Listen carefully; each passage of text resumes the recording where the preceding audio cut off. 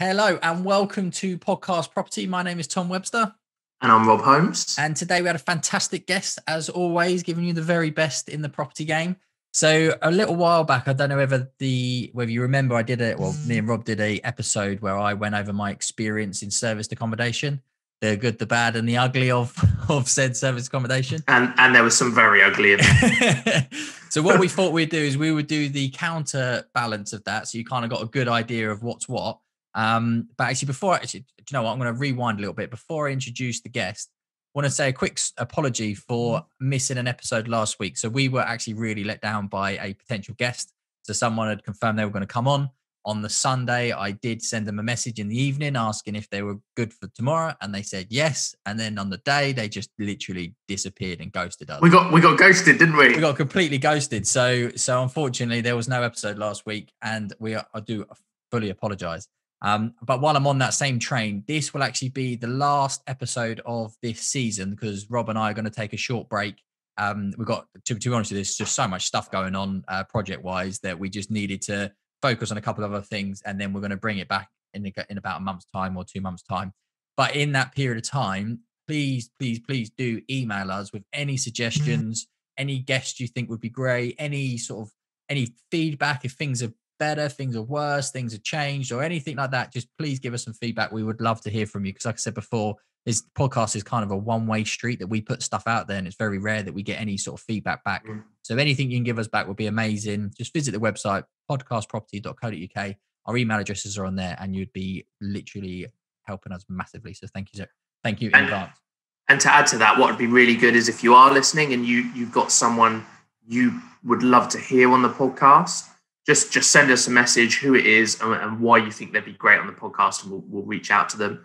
Or if you've got like a certain strategy you want to learn about or or a certain kind of sector within property that you want us to talk about we'll go out there we'll find a guest that, that is in that sector and, and we'll bring them on the show. Yeah definitely. We want to make as everyone knows this is all really conversational it's all really light-hearted so it's just whatever you guys want we will try and deliver and we'll do it the best the best we can. So please all the feedback's greatly appreciated so rewind. So if if I had a little editing suite now, I'd make some sort of like noise.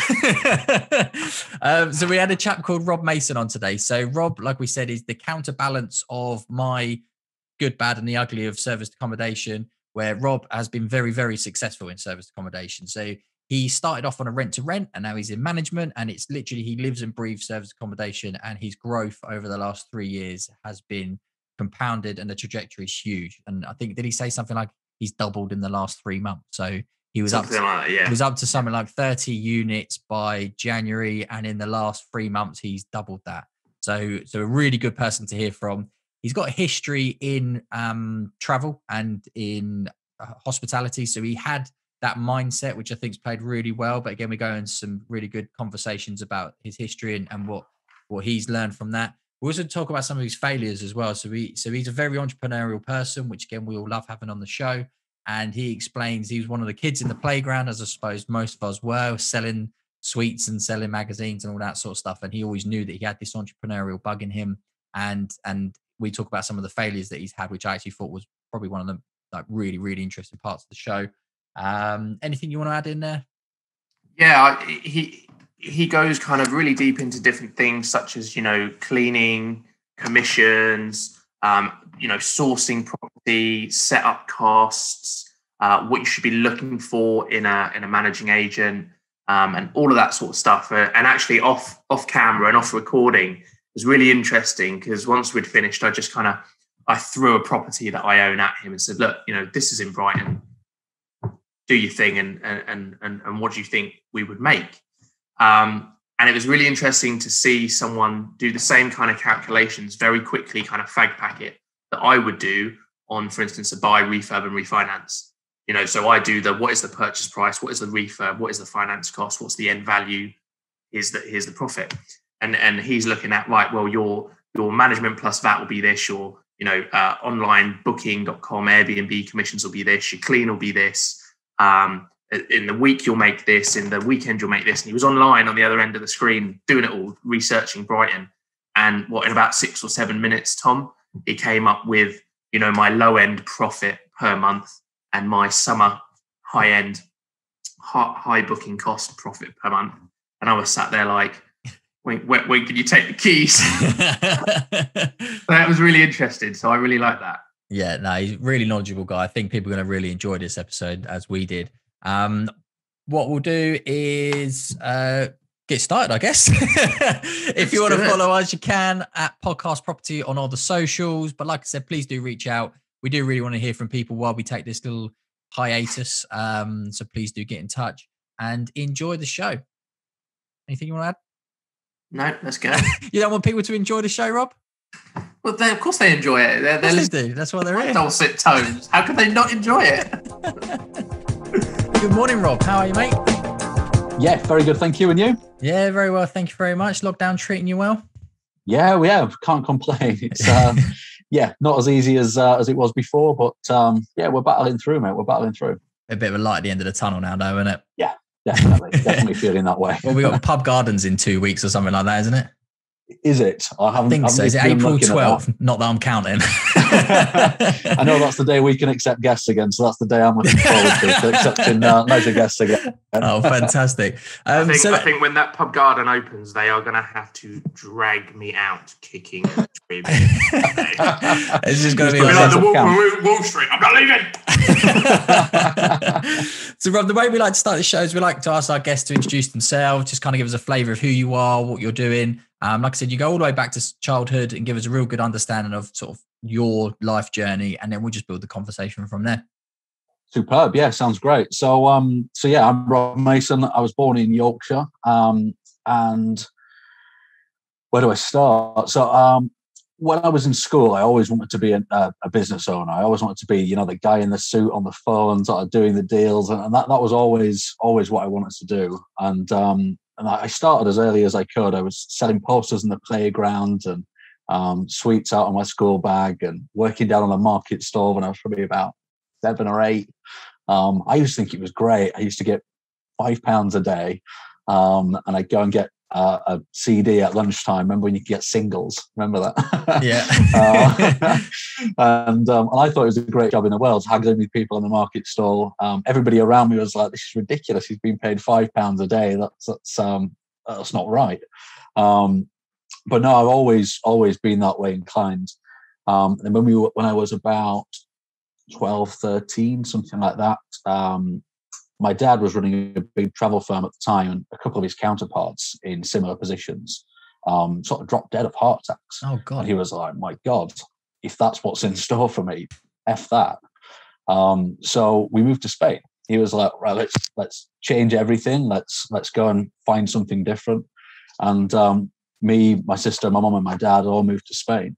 Um, so I finished my education there, thankfully, in an English school in Spain. Um, probably got much better grades than I would have done if I was here because um, I was very mindful of the astronomical costs.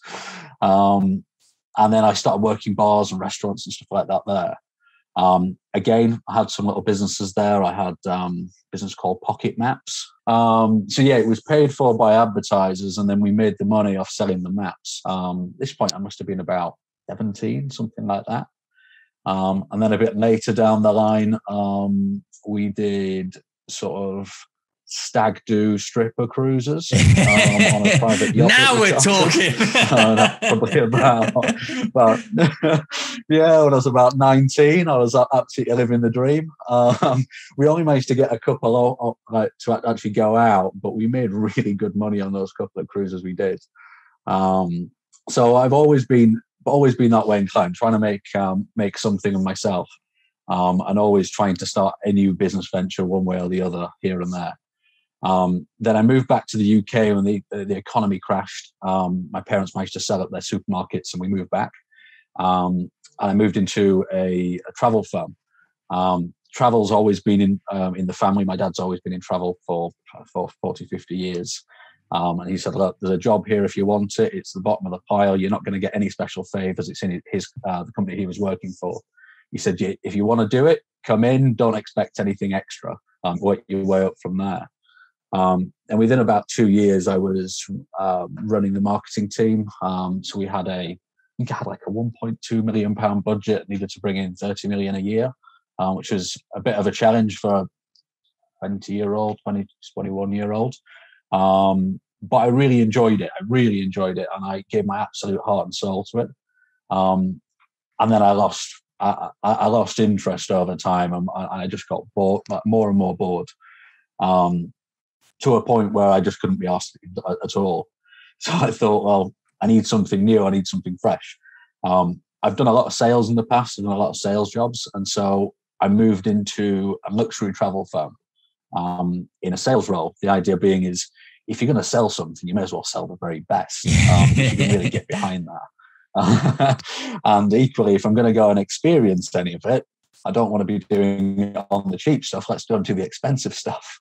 Um, so I moved into this luxury travel firm where uh, my average booking was like 20 grand.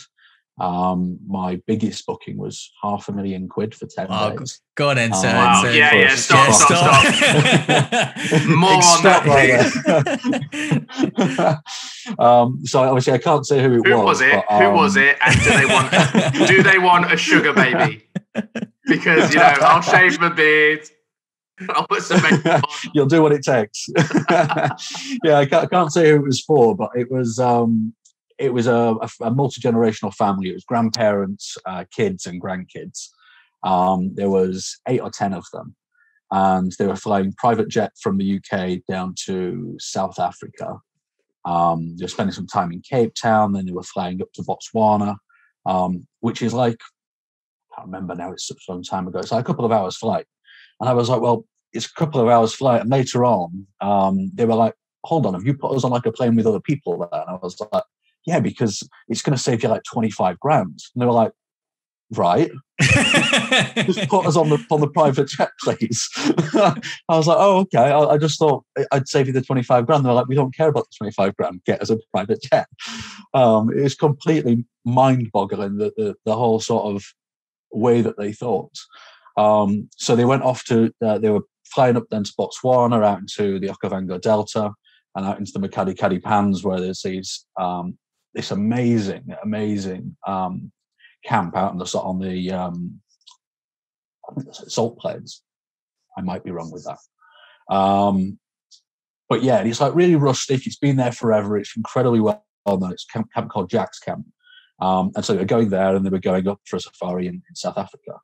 They got to this place, and because it was so rustic, this place in, in Botswana, they absolutely lost their shit. like, this is the worst holiday we've ever been on. We hate it. I can't believe you've done this to us.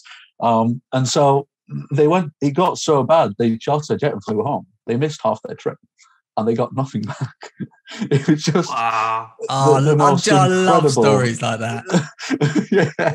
And you just think there's like a good quarter of a million quid there you've just literally thrown down the toilet um, plus the extra 60 or 70 grand it would have cost them to get home on a private jet. Um, yeah. So, Why would you just so go to another country? Why just carry your holiday on somewhere else? yeah. I mean, you would have thought that, wouldn't you? You'd have thought, well, let's just move on to the next place and just do something a bit different if we don't like this bit. Um, but yeah, so I, I thought, well, if I'm going to move into, back into sales, let's let's go and sell the very best. And so I was very fortunate, and um, I travelled all over the globe with them. Um, a couple of times managed to get like business class flights, and all the time it was five star hotels and chauffeurs and all that sort of stuff. It was really cool, um, and I was sort of sold into all of that, and it, and it it was as good as it sounds, but that was like one or two weeks a year. Yeah. Um, the rest of the time you're stuck in the office dealing with very difficult people. Um, you know, travel's a funny one as well, isn't it? Because you you hardly get someone ringing you up saying, "I had the best time ever." Everyone's ringing you up to moan about something. And so whenever you watch those like the airport shows and you see someone just screaming at some like poor lady behind the like the counter, and you're like, just shouting is not going to make that plane go. yeah, I mean the, the, things the things I came across were phenomenal. Um, I was uh, um, their duty manager a lot of the time. It was a way to earn some extra cash, and, and um, so I do this 24 hour duty manager. Some of the things we got calls about were just absurd. Um, we had somebody uh, ring and say that they wanted an apple. Um, I was like, "Well, why aren't you ringing the reception desk?" They were like, "Well, we booked it through you. Can you sort it out?" I was like, sure, let me ring reception for you. well, they were right then. They got, they yeah, got what they wanted. yeah, yeah, we got the job done. Um, somebody else called and said there was a wheel missing off their luggage. I was like, okay, where are you? They're like, well, we're home now. I was like, it's like 10 o'clock at night. Why are you ringing me? um, just some really bizarre stuff. Um, I remember I had a guy that he was out in the out in the mountains in Oman, and somebody had passed away back home unexpectedly, and so he, we had to sort of coordinate this middle of the night, getting him out of the mountains, getting a flight organised, multiple connections, all in time to meet the funeral. I mean, the, the logistics that goes from these bizarre um, and less travelled destinations were, were fascinating. Um, but it was just a whole different world. It was just a whole different world of um, of travel, really, beyond anything that probably most of us will ever experience.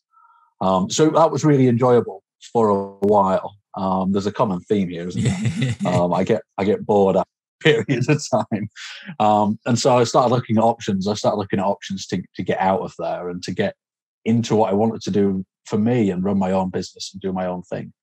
Um, which brings me on to a company I founded called Night Games. Um, so Night Games is basically Tough Mudder in the dark. Oh, brilliant! Oh, Um, nice. So, so yeah, 10, 10 miles, um, pitch black, sort of seven, eight o'clock at night in, in, the, in the winter. Um, paintballs, uh, like, um, what was it? Glow in the dark paintball snipers we had organized, fire pits to jump over, all sorts of cool stuff that were, were made even better by the dark. yeah, yeah. Um, and I sunk a lot of cash into it. I wasted a lot of money on, on a lot of things that I probably shouldn't have. Um, and we didn't even get the first event off the ground, which Oh, was no. crushing.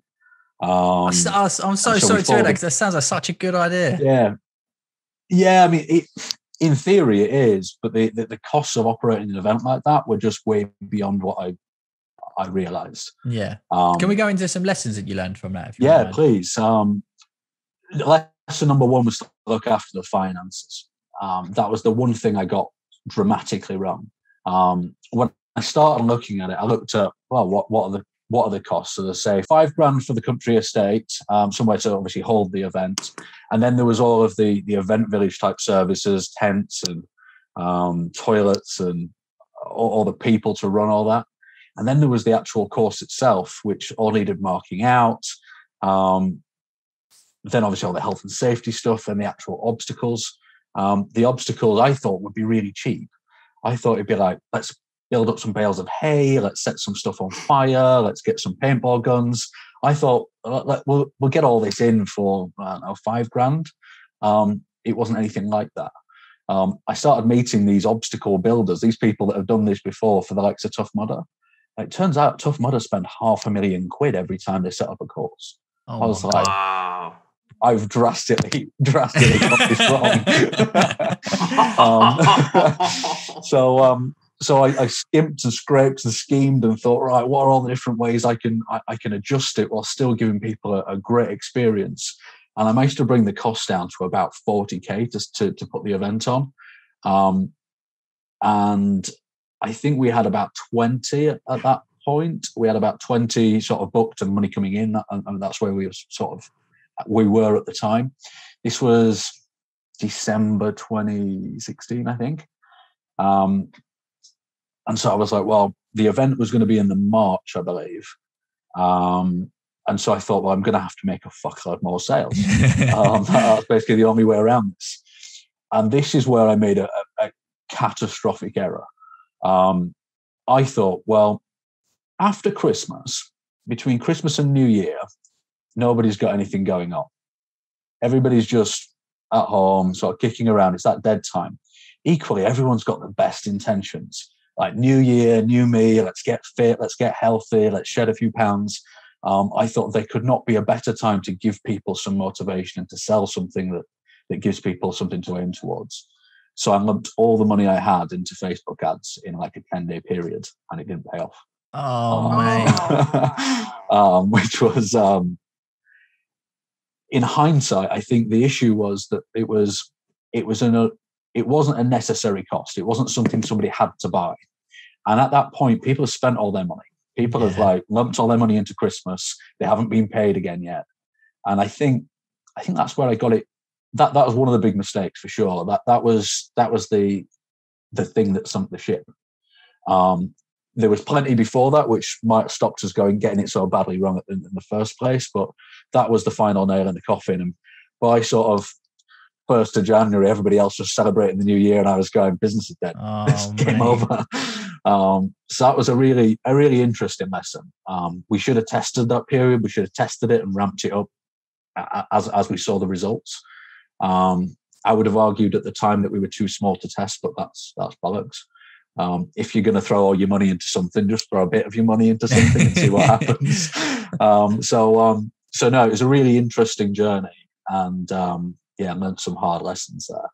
Do I think Um, I, it's always really interesting to go through failures because because and again hopefully most people listening and again everyone sort of around this table is we all understand that failure is is so common. Like I fail far far more often than I ever succeed in anything. Like it to, to an embarrassing effect.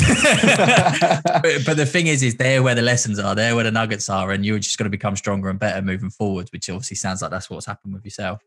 Yeah, the, absolutely. The other thing with that as well is it, it, people have got to realize those that are listening that it's actually it's okay to fail. It's actually a Yeah. good thing, and I think that's a really important point because it's so bred into us that failing is bad. That people get so worried about failing that they don't even try in the first place. And, and also, the, the other thing to say is that you know if you kind of live by the, I guess the mantra or or have this always in the back of your head that if you're going to fail, fail small Mm-hmm. and when you win, win big, you're always going to be okay. So as long as you fail, but you have your strategies in place, your systems in place, your backups, your stop losses, if we're talking about trading or whatever, that when you fail, it is only small and you learn very quickly. But when you win, you're going to win big. Yeah. Over the long run, you're Well, you look at you look at the venture capitalist model. Like they literally write it in their plan of their failures. They they say Yeah. right, X percent is going to fail, but Y percent is going to succeed. And as long as Y succeeds the the extent we anticipate it to be, it will it will cover the cost of the losses. So so Yeah. failing is part and part of of the whole process. Absolutely. And I think that the fail small thing, I think you're absolutely right. Had I failed small in that marketing period between Christmas and New Year, um, I, would have, I, I would have learned, I learned the valuable lessons and I'd have maybe approached it differently with what cash I had left. Um, I, I also think fail fast. I think you've got to you've got to be ready to cut anything at, at a moment's notice. And I think that that's something that I learned there as well. Is the moment you see things aren't working, you need to stop, reassess, and try something new. Accept that as a failure, take the lesson, and move on. Um, whereas I, I just spent 10 days with my head in my hands just watching it go down the pan, um, which was um, not productive or enjoyable. um, so, um, so yeah, so that was night games. So night games failed. Um, that, that was um, interesting. Would you do it again out of interest? No, no, I, Definitely not. No, I think actually the model is fundamentally flawed. I think the the, the model is fundamentally flawed. Um, Tough Mudder are in serious trouble if they're not bust already. Um, I read something not long ago saying that despite they are by by far the biggest in the world, their revenues were in the I think hundreds of millions. Um, they were still hemorrhaging cash. So why why what's I don't I, I don't know. model um, I mean, the my gut feel is the event costs are so high, um, marketing costs need to be very high. Um, they've gone with a high priced um, high priced product to presumably try counteract the those two things the the event costs and the marketing costs. Um, the repeat custom is is minimal. Um, a lot of people are going to see this as a one off challenge. Yeah. Um, yes, you get there's a very very strong group of like hardcore um, obstacle race enthusiasts, and they will do it every weekend, or they would have done prior to the lockdown. Um, there is a very strong group, but they are small. There's maybe I don't know ten thousand of them in the UK. That's a really Um, interesting take actually, because I because I've done a tough mudder and I've done a something else. I can't remember what it's called. But you, you you've hit an nail on head. You you see the the keen ones that have got like the t-shirts with how many they've done and the medals and all that sort of stuff. But you also see a lot of people. Like I'd say the vast vast majority of people are Dressed up as ballerinas. yeah collection, collections of people fun. from work. That Yeah, was probably one of the most common ones. It's people from work doing it for a charity. Yeah. And you just know that that is a one time thing for a lot of those people. Yeah, it's proving it, proving to yourself and, and other people that you can do it, Yeah. and then you're like, I'm not doing that again. It's horrible. I got so I- we did the 10k one, and um, and after about 2k, my um, what you call them? My calves completely went solid, like Oh. absolute rock hard solid, to the point that I couldn't bend my feet, and I had to run the next 8k like pretty much on completely solid calves, and then every every so often they would loosen up a bit, and I'd be okay, and then they would just God. go bang. I'm. And then, and then, luckily, every time I went into water, it would calm them right down, and that would buy me more time. But by the time I got to the end, I was like, "Callum, I can't do this." He said, "You got." I was like, "All right, okay, well, I'll finish it." But my, I am in absolute agony. yeah, they, they they are hard. They are. There's no two ways about it. Obstacle races are hard unless that's something you do a lot. Um, I remember my first, uh, well, in fact, first and only tough mudder I did, um, and I was similar. By two two miles in, I was dead. Uh, I was like like ready to throw up. Yeah. Um, and somehow I dragged myself down the course. And I remember they, they give me a final kick in at the um, at the last obstacle, which is the um, the electric shocks. If you if you've done one. yeah, yeah, yeah. Um, and I I'd sort of weaved through all these um, these dangling electric cables, and I got right to the end. Everyone was sort of cheering, and one clipped me in the back, and I went face first in the mud. Oh. me, me and Callum did that one, and we are like, right, let's just run at it. Yeah, Just that's do the other it. option. And then, oh, Yeah. you're like, oh, and he does it, knocks you to the floor, and you got to get up your knee, and because it just puts your whole body in spasm. But it, Yeah. it is good fun. Yeah, so um, so yeah, I think it. I, I would never get back into that industry. I don't think it. I think it needs a radical change. Um, I don't know what that change is, and I think somebody, the, the person who figures it out, stands to do very well from it, um, because clearly there are people that want to do it. Yeah, Um, therefore, the, there's a, there's a market. If there's a market, there must be a solution. yeah. Um, I don't know what it is. Well, getting the bill cost down from half a million might help. will- that'll be a starting point. Um, some people have fixed courses. Maybe that's the answer. Um, so you build it once, people come to you, um, Yeah, and it just yeah. stays there year round, and you put it on every couple of weeks. Maybe that's a more sensible model for it. Yeah, actually, Um, I, I, I sort of uh, a friend of mine's got um, a beautiful house in in a forest, and he's got loads of land and stuff like that. And I was saying, what you should do is build like what you should do is is is build like a like a almost like an obstacle gym Yeah. and charge people to use it as a gym because a lot of people want to train for things like tough mudder but you don't have really the facilities in a gym you can do a lot of it but the actual the monkey bars and the this and then that and the, the Yeah. rope swing like those sort of things maybe the actual the the mechanics of doing it in in real but there, there's there must be a market for people like I said like that fixed position running it as it is That that makes more sense, doesn't it? Because the, the costs are going to be a, a setup cost, uh, Yeah. like, like like a capital expense at the beginning, and then it, there's there's a small amount of maintenance. It, it sounds better to me. But you Yeah. won't be able to charge as much necessarily. yeah There are some obstacle gyms out there, like, like what you described. There are a couple, I think, in the UK. Um, I don't know how, how they fare. Um, but yeah, basically, no, I'm not doing it again.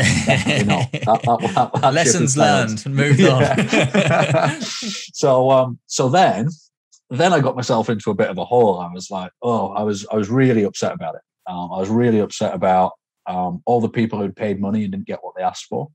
Um, because their money had been spent. We'd spent what we'd earned on marketing um, in the anticipation of earning more back. Um, so not only did could we not put the event on, but we didn't have the money to pay people back either. So we had to liquidate the company, which was um, seriously unpleasant. Um, and it left me feeling like a massive failure. And I wasn't looking at it as objectively then as, as I do now. yeah of course Um, so I carried on with the day job um, and I carried on selling expensive holidays. Um, and then and then I started getting the twitch again and going, got to do something. I'm bored here. Um, I'm miserable here, but I, I don't know what else I'm going to do instead.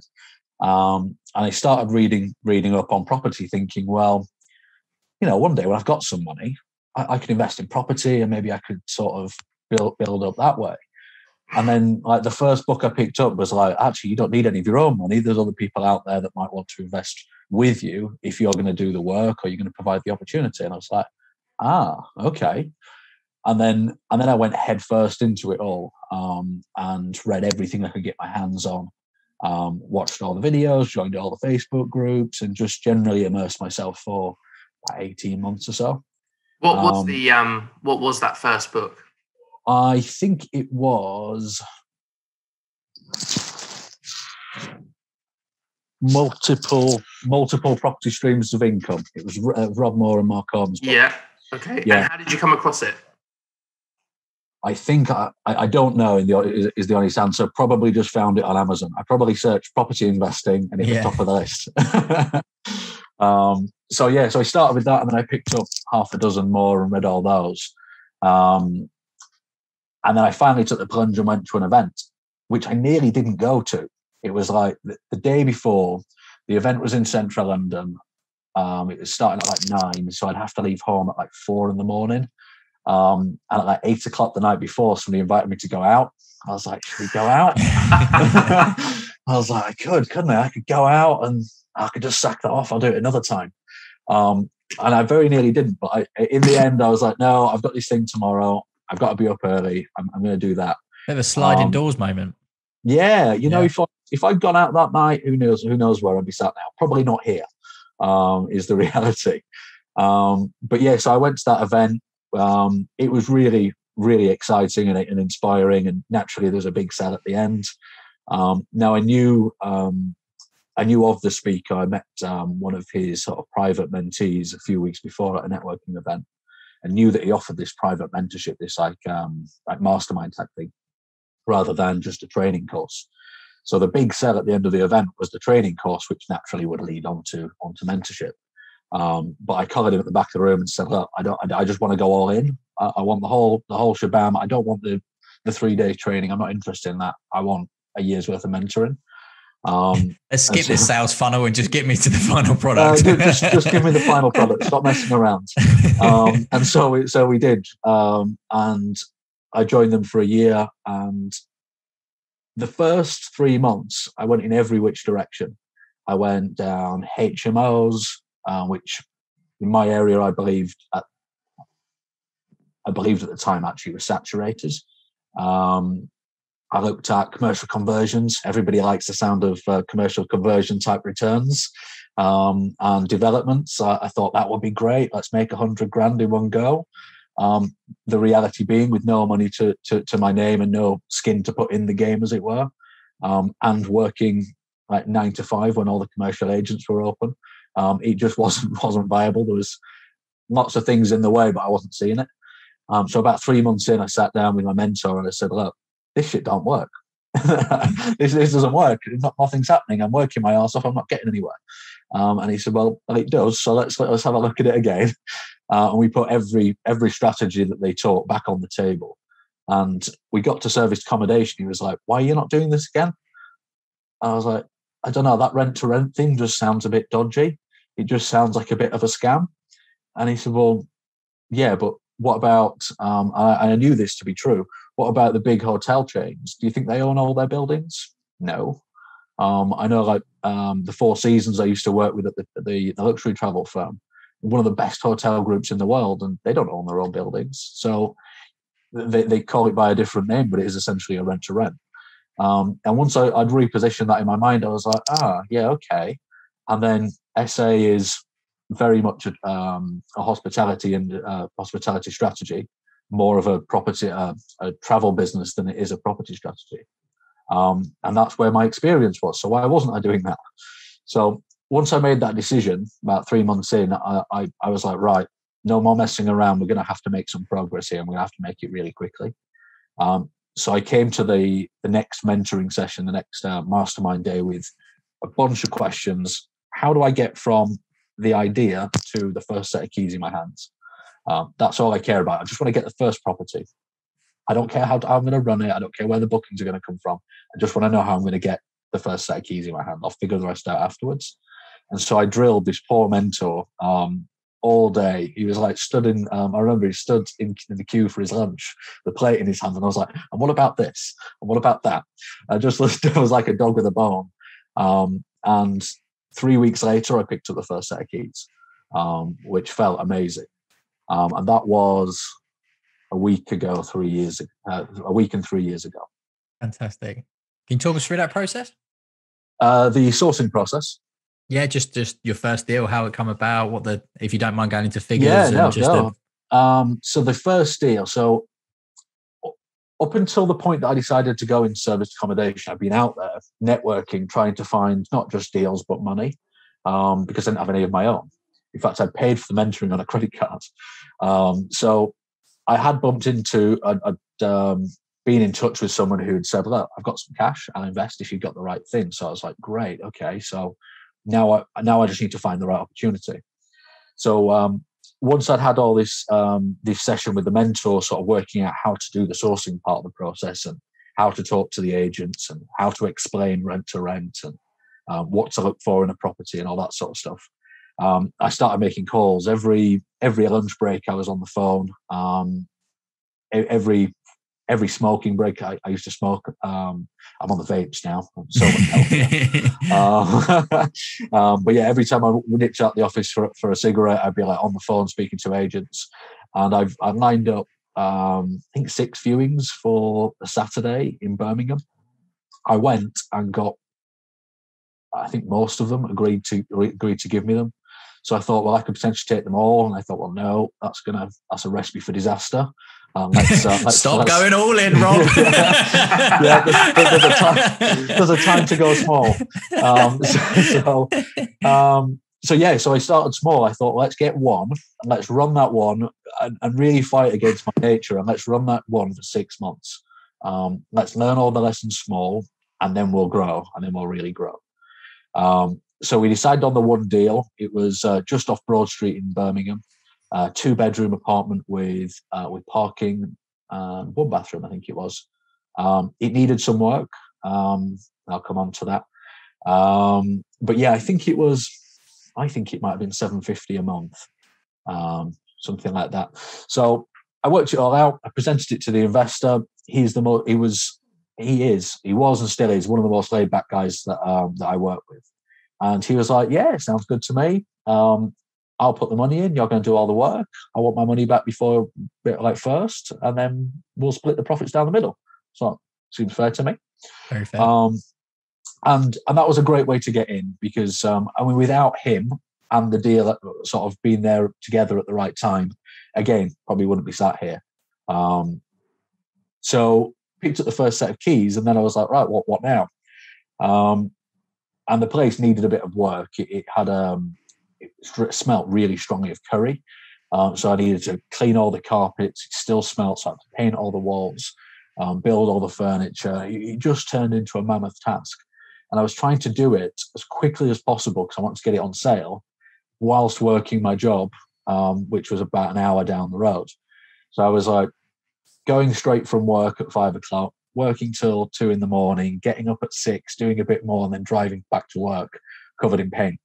And I did that all week um, and all weekend. And by the Sunday, my wife popped in to give me a hand finishing the final bits off. I, could, I couldn't even string a sentence together. I was that that completely gone. Um, but we got it done, and I'll never forget the first bookings coming in. I just climbed into bed, and the booking came in, and I was like, oh, "A booking! Yeah, it's our first booking!" And then literally five minutes later, another one came in. I was like, "Yes!" It was it was the greatest feeling.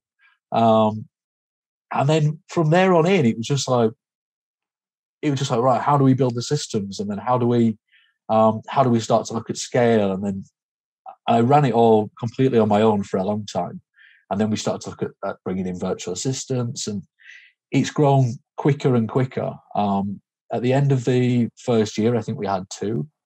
The end of the second year, I think we had about twelve then we had 22. that right? Yeah. then 22. Beginning of this year, we had 35. Um, Fantastic. Well done, mate. In the last 60 days. Um, so, it, what the, did you say in the last 60 days? Because we, we yeah, in the, in, the, last 60 days, that's doubled. Oh, wow. Um, wow. So, it, it's, and I think there's a lesson here. There's definitely a lesson here because um, going back to what I was saying about like just do one for the first six months, and there's that that that, that need to grow, and there's the, the entrepreneurial drive that makes you go, oh, I just want to do more and do more and do more, and actually you've got to have a bit of patience, which I, am sure you guys probably feel the same. As entrepreneurs, patience is one thing we're generally in short supply. Yeah, big time. Uh, but what, what you don't realize, realize is the compounding. So where we were doing one deal and then we would focus for months on the next one. Um, now we're, we're we're, multi, we're juggling. I think juggling 15 setups at the moment. Um, and it's just like the, the faster or the bigger you grow, the bigger the growth gets. Um, I'm sure adding 30 units in five years' time won't feel like a big deal. Um, but at the moment, it does. The same as adding one unit did right at the beginning. Um, so I think you've got to sort of have that faith and have that patience, which um, is definitely easier said than done. um, so yeah, that sort of brings us up to today. Really, today we um, we manage once they're all set up. I think it will be seventy 72, 73, something like that. Um, currently in the um, either already operating or sort of in the process of being opened.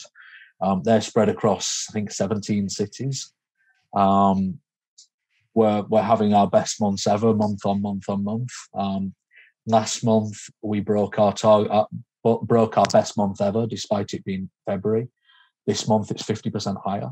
Wow. Um, I mean, it's it, it's it feels like we, have come out of the worst of what what we've been through um, with the coronavirus stuff, and we're heading on to better into better territory now. And um, are you so still rent to renting, or are you buying your own units now? No, really, really good uh, point that I, I, didn't mention. So I did the first one as a rent to rent uh, as a JV. Um, the second one was um, was management. Once I went down that, no, sorry, no, the second one was a JV as well once I'd gone down that route, I had two separate JVs with two separate people and two separate companies, and I saw where this was going. I thought, if I'm not careful, I'm going to end up with a hundred companies with a hundred different people. Yeah, and that's a yeah. hundred sets of accounts to file. My, my, my There's a hundred problems to have. yeah, my God knows what my my self assessment would look like at that point. Um, it sounds expensive and it sounds like a, an administrative nightmare. So for that reason, um, so that was one of the big reasons. Um, that was the biggest reason. Um, I decided to go all in on management. Um, and so I was doing the management and then I had these JVs as well.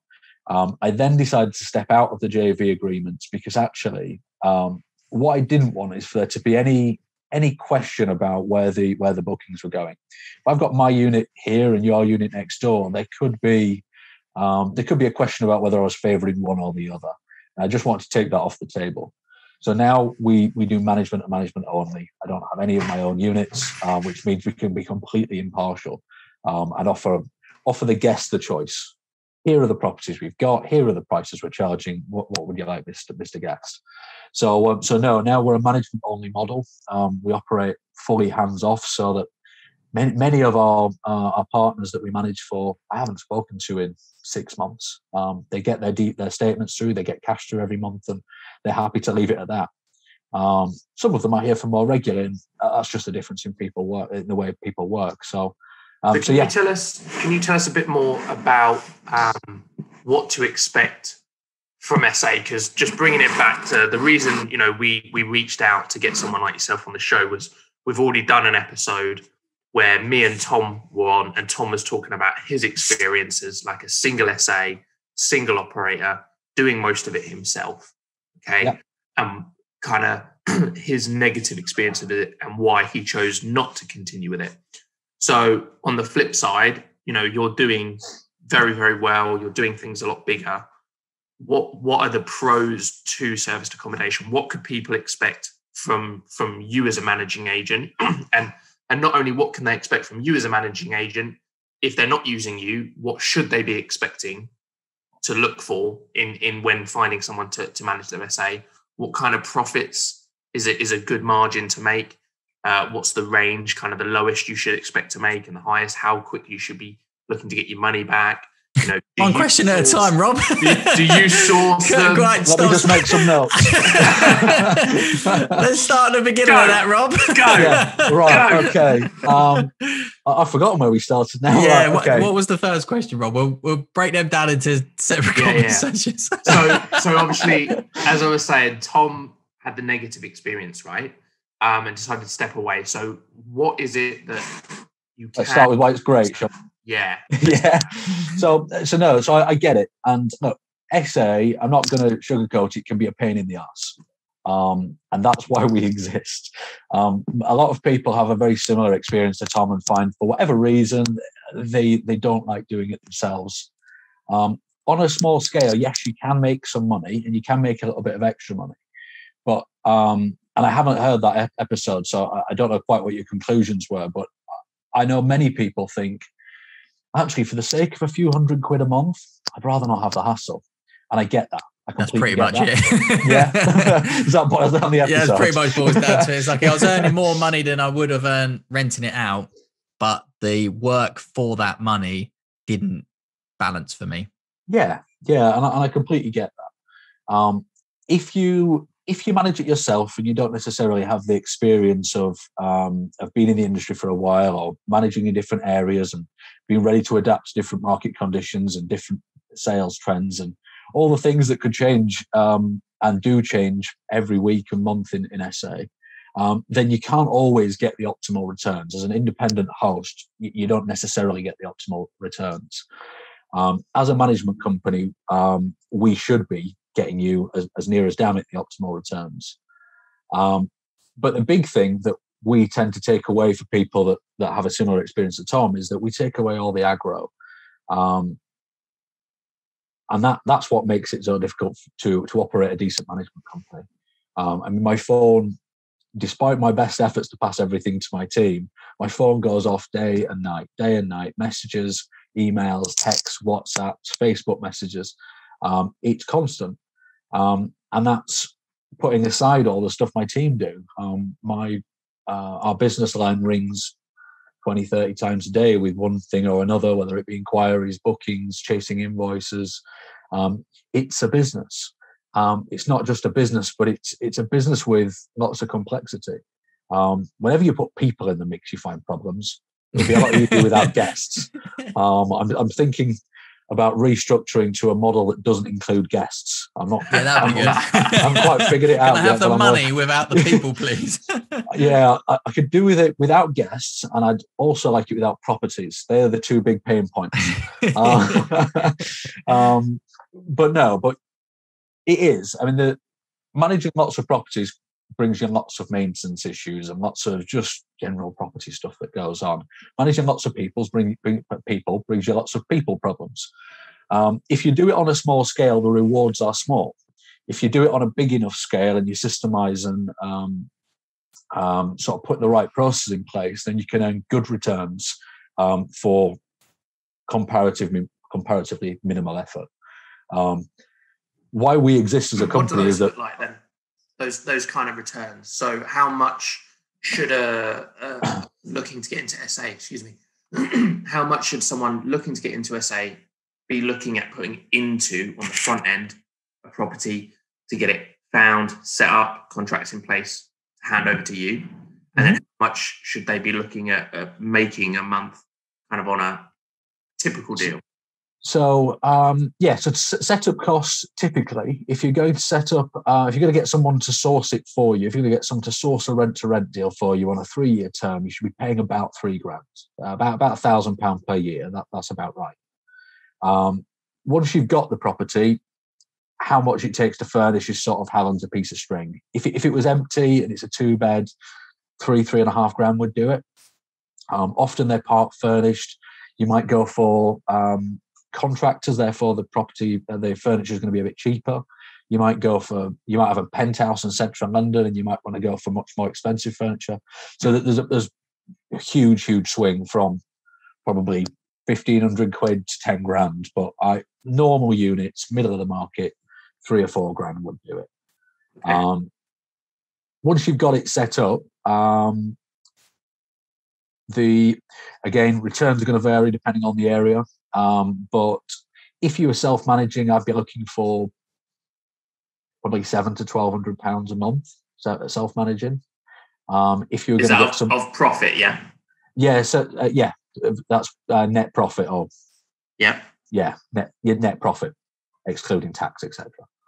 Um, if you were going to get somebody else to manage it, I'd be thinking between five hundred and a thousand pounds a month would be would be my target. Now, all this needs to be prefaced by the fact that those those um, returns haven't been available consistently over the last year. Um, coronavirus has just created all sorts of uncertainty and all sorts of drama in the marketplace. Um, we've had some properties that have absolutely cleaned up, and we've had some properties that have struggled from one month to the next. Um, that's in some cases the markets, um, and I think this again is a really interesting point because I don't know if you guys are in service to come uh, uh, can't speak service accommodation groups on Facebook, but you'll see these sort of feast and famine stories oh, everything's full. We, we, we wish we had more properties. We're making great money. And then there's other people like, I'm handing back all my keys. I'm, I'm handing back three apartments. Um, and I think that I think that creates a lot of um, it gives the wrong impression. The people that are handing back their keys could potentially feel like they've they they're to blame and, and it's their fault that it's not working. And the people that are doing really well could feel like they're they're kings of the world and they're doing incredibly well and they're incredibly smart and they're great at it and it's all all they're doing. And there's probably an element of both of those things. I'm not, not saying there isn't, um, but it's so defined by the market. Um, there's not many operators that operate in as many places as we do uh, that I know of, and so not many people see these these different spikes in different markets the way we do. So when I started to see these stories, I was like, well, where are they operating? And I was like, yeah, that makes sense. And that makes sense. Contractor areas are doing well. Cornwall's empty um, through the lockdown. That makes sense. Um, so, um, so yeah, so I think you've got to you've got to look at your market really carefully when you get into service accommodation. You need to know who who's going to be staying with you.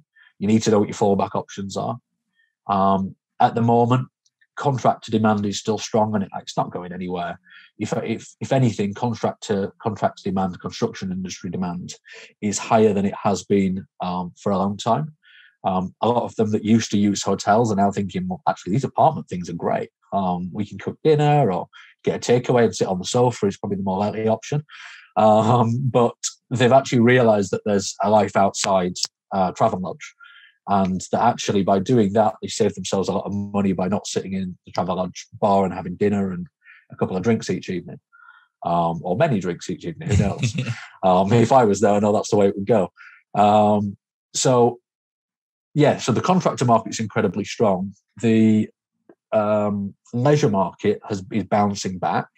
Um, but i think we've got to be careful about that too um, again lots of people are saying my phone won't stop ringing. My bookings are through the roof. I'm 100% occupied for the summer. Um, and there's other people going i'm not. Why? Because you're you're not in the right place. Um, so i had someone call me the other day. They've got a property in um, in watford. They're like i'm not sold out for the summer. Why? I was like because you're in watford. Um, no one's packing their kids up for it yeah. Watford isn't that sort of destination. Um, you'll get contractors in but you won't necessarily get tons of leisure guests booking their big summer holiday to Watford, obviously. Um, and so you've, you've, just got to understand what your market is in the area that you're in and make sure you get into a market that you believe in. Um, my personal view is that the leisure market is going to be great for the next couple of years, much stronger than it um, than it would ordinarily be, um, because obviously people aren't going to be travelling abroad. Um, obviously, we're recording this 22nd of, uh, of March, and we've just had news in the last couple of days that actually summer holidays to Europe are seriously in jeopardy. Um, my bookings over the weekend have been through the roof. Um, now that's to be expected, and I think the the more blows that the the, the airline travel um, get get dealt, the better for the UK um, staycation market. Um, and look, yes, it's terrible for them, but we've got it is what it is. Um, and if we've got an opportunity, we should be taking that. Um, in terms so, of in terms of um, just coming back to the sourcing yes. what, what to expect to pay, do you actually source deals to people? I don't anymore. I used to. Um, the reason I don't anymore, quite honestly, is I just don't like doing it. Um, it's just a pain. Um, calling loads of agents and yeah, doing loads of viewings, traveling all over the country. Um, I do enough traveling all over the country as it is. Um, after I, after we finish this, I've got a team meeting and then I'll be on the road till midnight. Um, that that's that's that's what I'm trying to avoid. So so no, I don't offer any sourcing myself. There are a couple of companies that um, that I work with and sort of um, I, I, I will introduce people to them and I will give them a brief that I believe will work. So my view is, and this again is going to be very generalized, and I don't want to tar everybody with the same brush, but a lot of sourcing companies don't know anything about the operations. They don't they don't operate their own units. They don't know how it actually works. They just go, "That's a nice property. I can get it for a bit of a deal. Therefore, it's it's a deal. Do you want to buy it?" Um, they don't necessarily know what they expect the market to do. They can't take a good read on what the rate should be. Um, they may not have considered um, what the, the customers in that area are likely to book or not book. Um, there are areas where you will sell out midweek all the time and your weekends won't really sell. Um, somebody that doesn't know the industry inside out and just knows sourcing might work on the expectation that your weekends would sell. So um, I work on the basis that a lot of sourcing companies don't have that knowledge.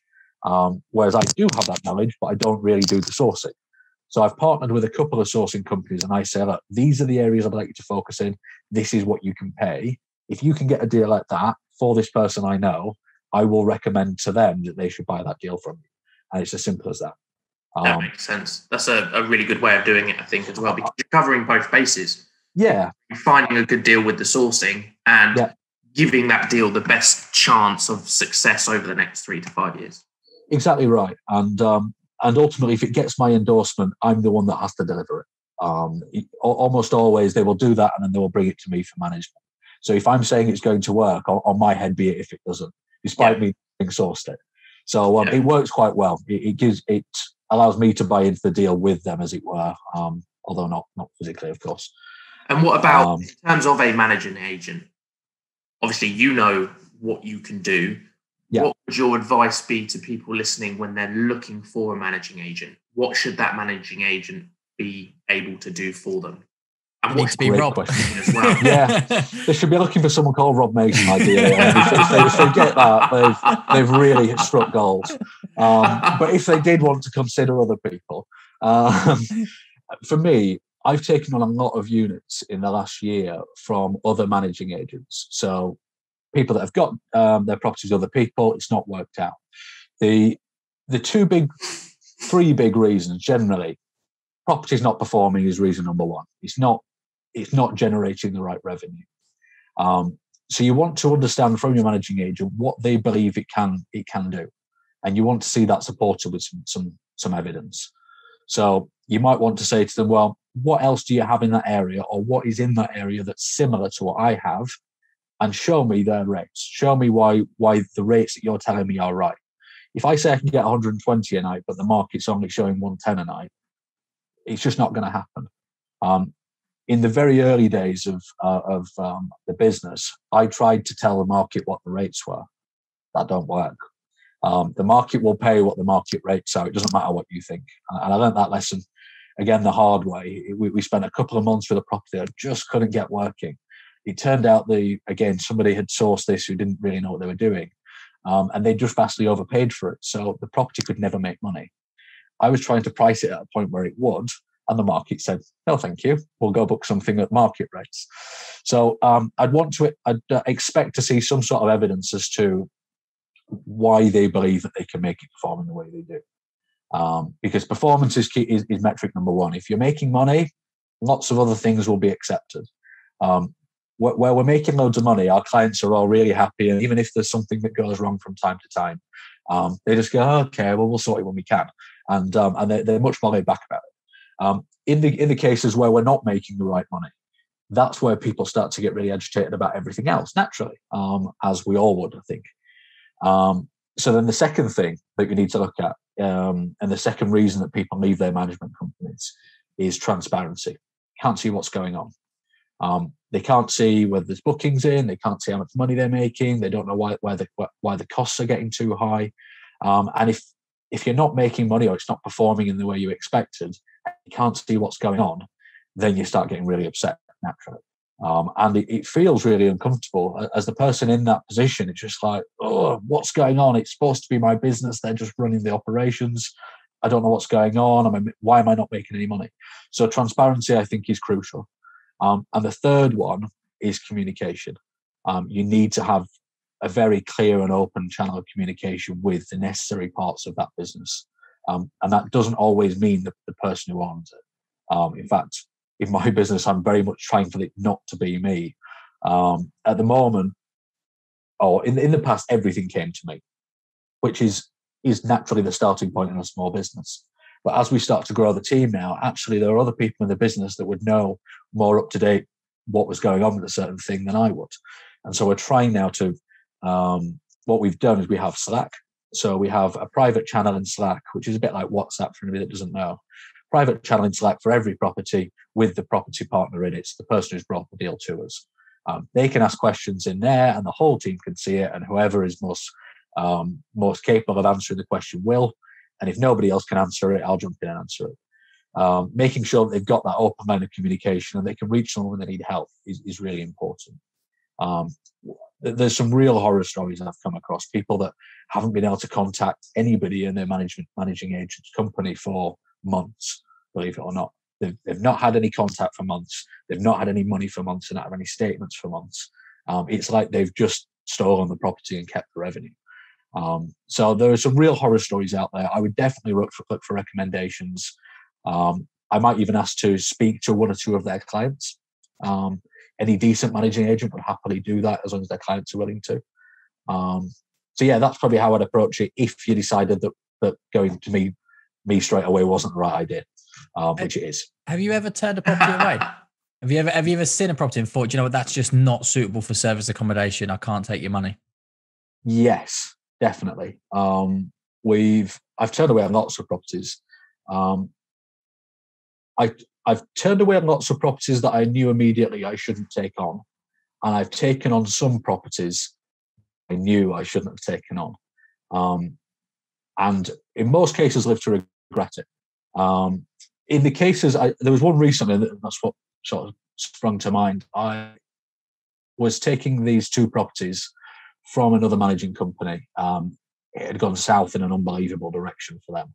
Um, they, they, they, don't exist anymore.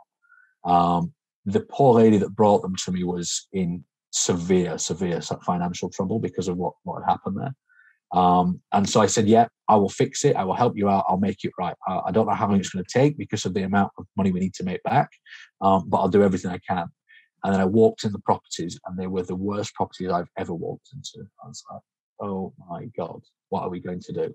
Um, I sort of wandered around with my head in my hands thinking, I shouldn't have said yes, but equally, I can't leave this poor lady in yeah. the position she's in. Um, so I spent most of January evenings and weekends in these two properties, two four bedroom houses, renovating them top to bottom, refurnishing them, getting them back to where they needed to be. Um, and now they're starting to starting to look really promising. Um, so yes, there are definitely cases where I've turned properties away, um, and there are definitely cases where I've t- taken properties I shouldn't have. Um, there's only been one case where I, have actually turned a client away.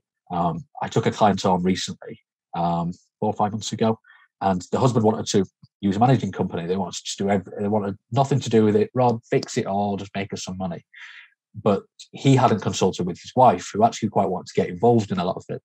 And um, it wasn't until the property was open that she she sort of came into the frame and explained where she was at. And I was like, ah, you want to do a lot of the stuff that we do, and that will make it incredibly difficult for us to do our jobs. So we tried our very best to try and find a, an arrangement that would work, and where she sort of had control, but we were still managing it, and it just kept getting more difficult and more difficult. And so in the end, I, I had to pull a plug on that one and said, look, I'm going to have to give you it back because we can't half manage it. Um, and so I gave them, gave them 30 days to sort of get everything ready so they could take over, and and we handed it back. I think we actually gave them a little bit longer. Um, but yeah, we've only actually um, sort of set turned one client away, one existing client away.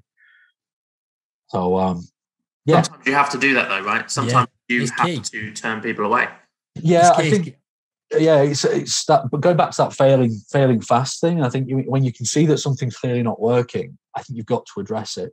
And um, in the early parts of the business, I, as much as I was aware of that mess and I hadn't fully embraced it, um, and so so in this particular situation, we weren't far into the the arrangement when I was like, actually, it's definitely not working.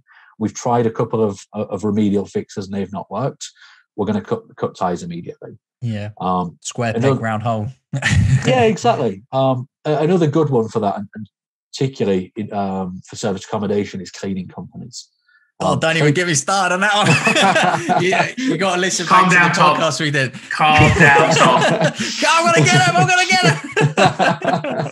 him. um, You've started him off now, Rob, mate. Like 20 know- minutes, 20 minutes complaining about the cleanliness of a tap. yeah, it sounds like you know exactly what I mean. And oh, cleaning is so important. And because our cleaning companies are so important to us, and because we operate a remote model um, and rehiring and retraining them is painful, we let things slide for far longer than we should have done in the early parts of the business. And cleaning companies will make a few mistakes and be like, oh, it's, it's okay, we'll, we'll tell them to do better. Um, and the mistakes would happen time and time again and and you just we just keep letting them off, and we keep going. Oh well, give it, give us, give us the cleaning. Uh, don't charge us for that clean. We'll give it to the, the guests, and we'll say no more about it. And we, we let things like that go way too often. Now it's like, if at the second that I know that they're not going to be right for us, they're gone. yeah. Um, as soon as I'm sure, and that's not to say you make one mistake and you're out, because I, I'm not. It's not a dictatorship um, but um, but it's as soon as we've reached that threshold, where we're like, actually, these are not the right company for us. They're gone straight away, um, which is painful um, and unpleasant sometimes, but it's the right thing to do. And I I, think, I so wish I would have done that. if, uh, for anyone that hasn't hasn't listened to, to the, the show that I did about my experience, is every time I gave feedback to my cleaner, she had a go at me. I've got some, I've had some like that. Yeah, sure. so I'd be like, oh, just to let you know that the, the the guest has complained about this, this, and this. And then I would get an email like, as long as your arm going, well, no, because of this, and no, because of that. And I'm I'm going, I don't really care. I just want you to just do better. Yeah. And after about the third one, I then had to really just write a really like crappy email back going, look, I've had enough of every time I give you feedback, you get defensive. I don't care about your excuses. I just want you to sort it. And the, the, the problem I had is because I, I was actually selling the property. So I was doing service accommodation for a bit longer than I needed, uh, than I sort of planned for because um, the, the sale just took so long. So it was always in my head, it was like, well, it's okay. It's only a couple more bookings and then there'll be another delay. in it. And, it, and it just kept going and kept going. And I'm, I'm like six, seven months in, I'm like, I'm still here. Yeah. I, I can see how when you've got some, you've got your sort of working, haven't you? At that point, you've got to clean. The, the cleaning is being done. It's not being exactly done that. the way you want it necessarily, but it's being done, and you're like, well, I'm nearly out of this, so it's pointless rocking the boat. Yeah, yeah. Um, and that's exactly what it was. hundred percent. I I think Um, there'll be a lot of people that resonate with that. That, Yeah. that resonate with the, the sort of cleaners that aren't performing and sort of feeling like, oh, it's easy just to maintain the status quo. You get the better, the better the devil you know sometimes, don't you? And you think, well, if I, I've got to find a new one, I've got to go through that whole process, and you sort of do that. But you think, actually, looking back, hindsight, that was a bitter pill that I should have just swallowed early, and and it Save was really so early. because I, I, I didn't tell this story last time, but the clean, cleaners that I got in for the house, they cleaned our actual residence for, for one time. And, and me being a bloke, I've walked around and I, oh, ah, it looks fine. And then my girlfriend Emily walks around and she's literally pulled it apart. She's found dust here, she's found cobwebs there, she's found that's not been touched. And this was apparently the first deep clean. So they do this Oh, like they call gosh. it the deep clean and they come in and then they, they use it as a starting point. And again, and Emily wrote this massive email explaining all the bits, and she wrote an email back going, "No, no, no." Oh. so I should have known straight away. Yeah, you, when when you get self uh, get defensive cleaners, it's so much more difficult. Um, They said, "Just, just take it on the chin. Just pretend that Yeah. I just look. Call me a twat behind my back, but tell me that it's all fine and just that you're gonna fix it. That's all." Um, right, we're Yeah. taking so much of your time, Rob. So uh, we'll, we'll say goodbye here. So, how, how do people get in touch with you if they want to get in touch with you and follow your journey? Uh, best way to get in touch with me is Facebook. Um, so find me on Facebook, Rob Mason, um, and drop me a message. Um, yeah, definitely. Cool. We'll add all the links into the um, podcast bits and bobs. Rob, I've actually got got one those? more question before we finish. Go yeah, on. please. Is it one question or is it five wra- wrapped It's- into one? it's- Do you know what? I did get carried away, didn't I? Usually, You did. uh, it's not actually for Rob. It's for you, Tom. Got him. Considering how you felt on the last podcast and doing this podcast now, having spoken to Rob, professional managing agent, do you think you might do SA again if you had someone like Rob looking after you? hundred percent. I would, but hundred percent because I even looked into management companies when I did mine. Um, but the the the rate that the one I only found one of them to be fair because because I'm in Eastbourne and surprisingly considering it's a holiday destination there are no management agents really marketing heavily that look after Eastbourne. So I found one that was in that, that Brighton and they were going to do Eastbourne as not a favour is the wrong word but it'll be new to them. But the rates they come back with were just ridiculous. I don't know. It's obviously because it was out of their comfort zone. So that's why I said, you know what, I'll just do it myself. It's not overly complicated to just answer messages and arrange cleaners. Yes, it is. it's actually massively complicated. How hard could it be? Yeah, exactly. That's exactly it. But no, hundred percent. If I could, if I could have found a decent managing agent that charged a fair price and did a good job, then hundred percent I would have carried on with it. Cool. That answer your question? Yeah, it does. Yeah. okay, so we'll do we'll, we'll wrap up there. So thank you so much, Rob. What would like I said, we'll put all the links into into the podcast captions and stuff so people can follow you. If you want to follow us, you can. We're at Podcast Property on all the socials. Visit the website podcastproperty.co.uk so you can view previous episodes. And as you know, we are now on YouTube as well, so you can get to look at all of our pretty faces as we have these very fascinating conversations about property and all that property has to offer. Um, but no, hope that you enjoyed the episode. Thank you so much for joining us. And again, thank you, Rob. And Thanks enjoy the rest of your day, mate. All right, see you later. Thanks so much. Thank you for listening to the Property Investors Podcast. The information contained in the podcast is not to be used as financial advice. Everybody's situations and goals are different, and you should always complete your own due diligence on investments and seek personalized financial advice from a qualified person. Feel free to contact the show for professional recommendations. Visit propertyinvestorspodcast.com.